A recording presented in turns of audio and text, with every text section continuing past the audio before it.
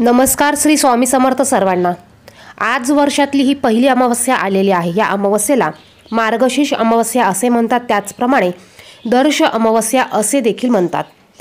ही वर्षातली पहिली अमावस्या असल्यामुळे आपल्याला या अमावस्येच्या दिवशी आप रात्रीला आपल्या उंबरठ्यावर या तीन वस्तू जाळायच्या आहे. बघा आज अमावस्येच्या दिवशी आपल्याला रात्री उंबरठ्यावर या तीन वस्तू जाळायच्या आहे यामुळे आपल्या घरातील भांडणे कटकटी नकारात्मकता ह्या गोष्टी सगळ्या मिटणार आहे.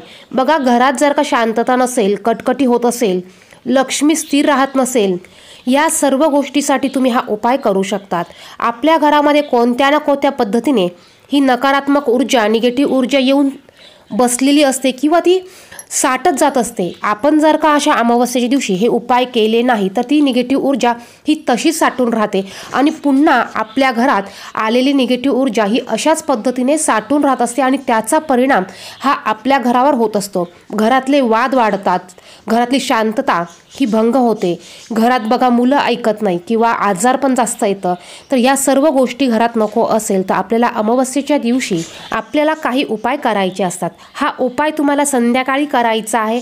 बघा या उपायासाठी आपल्याला काय काय लागणार आहे ते बघण्या अगोदर. आप तुम्ही जर का चॅनलवर नवीन असाल तर चॅनलला सबस्क्राईब करा आणि असेच माहितीपूर्ण व्हिडिओ बघण्यासाठी बाजूच्या बेल आयकॉनला देखील प्रेस करा.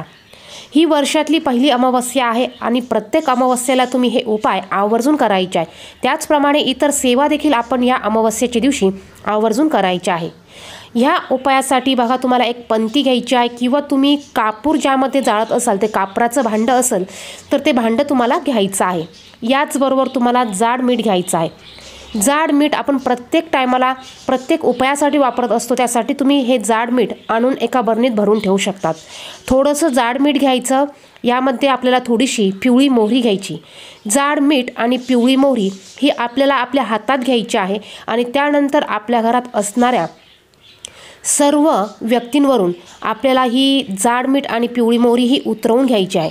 तुम्ही क्लॉक वाईज जसं घड्याळाचा काटा फिरतो त्या पद्धतीने सात वेळा ही पिवळी मोहरी आणि हे जाडमीठ आपल्याला मुलांवरून घरातल्या व्यक्तींवरून ही उतरवून घ्यायची आहे.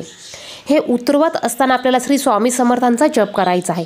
त्याचप्रमाणे एखादी व्यक्ती जर का सारखी आजारी पडत असेल तर त्या व्यक्तीवरून देखील तुम्हाला हे मीठ आणि मोहरी उतरवून घ्यायची आहे. एखादी व्यक्ती जर का पैसे कमवत असेल आणि तिला जर का खूप अडचणी येत असतील तिची चिडचिड होत असेल किंवा बाहेर ती व्यक्ती चांगली राहते घरात आल्यावर चिडचिड करते तर मग अशा टायमाला त्या व्यक्तीवरून देखील तुम्ही हे जाड मीठ आणि ही पिवळी मोहरी उतरवून घ्यायची आहे.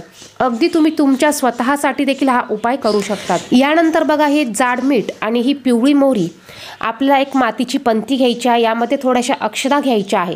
यामध्ये तुम्हाला सात कापराच्या वड्या टाकायच्या आहे आणि यामध्ये तुम्ही हे जाड मीठ आणि हे पिवळी मोहरी टाकायची आहे.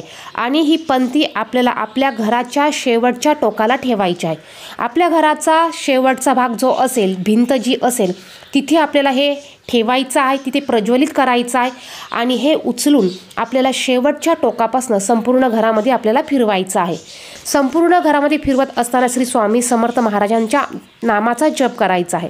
संपूर्ण घरात फिरून झाल्यानंतर आपल्याला हे आपल्या घराच्या बाहेर आणायचं आहे आणि घराच्या बाहेर आपल्याला हे वस्तू ठेवायच्या आहेत. जोपर्यंत हे प्रज्वलित होत आहे तोपर्यंत आपल्याला हे घराच्या बाहेर तसंच ठेवायचं आहे. जेव्हा हे कापूर पूर्ण जळून संपेल त्यावेळेस आपल्याला यामध्ये पाणी ओतायचं आहे. आणि हे आपल्याला आपल्या घराच्या बाहेर टाकायचं आहे. एखादा उखिडा असेल तर त्या साईडला तुम्ही टाका किंवा एखाद्या झाडाखाली तुम्ही हे सर्व टाकून देऊ शकतात किंवा तुम्ही थोडंसं लांब मोकळी जागा असेल एका साईडला तुम्ही ह्या वस्तू तिथे नेऊन टाकू शकतात. पुन्हा ही पंथी आपल्याला आपल्या घरात आणायची नाही आहे त्यानंतर ही पंथी पुन्हा तुम्ही धुवून ठेवू शकतात. त्यानंतर पुन्हा पुढच्या उपायासाठी ही पंथी तुम्ही यूज करू शकतात. तर अत्यंत प्रभावी असा हा उपाय आहे. या उपायामुळे आपल्या घरात साठून राहिलेली नको असलेली निगेटिव्ह ऊर्जा ही संपते नष्ट होते. याचबरोबर आपल्या घरात नको असलेल्या वाईट शक्ती वाईट ऊर्जा ह्या देखील संपतात. जेव्हा आपल्या घरातली नकारात्मक ऊर्जा संपेल त्याच वेळेस आपल्या घरामध्ये ही पॉझिटिव्ह ऊर्जा संचारते. बघा पॉझिटिव्ह ऊर्जा आपल्या घरामध्ये असण्यासाठी निगेटिव्ह ऊर्जा आपल्याला ही घालवणं महत्त्वाचं असतं. आणि अशी ही निगेटिव्ह ऊर्जा घालवण्यासाठी आपण अमावस्येला हे उपाय करायचे असतात. तर आजच्या अमावस्येला तुम्हाला हा उपाय आवर्जून करायचा आहे. त्याचप्रमाणे प्रत्येक अमावस्येला तुम्ही जर का हा उपाय करत गेला तर बघा तुमच्या घरामध्ये याचे चांगले रिझल्ट हे नक्कीच पाहायला मिळणार आहे. व्हिडिओमध्ये सांगितलेली माहिती आवडली तर व्हिडिओला नक्कीच लाईक करा. चॅनेलवर नवीन असेल तर चॅनेलला सबस्क्राईब करा. धन्यवाद. श्री स्वामी समर्थ.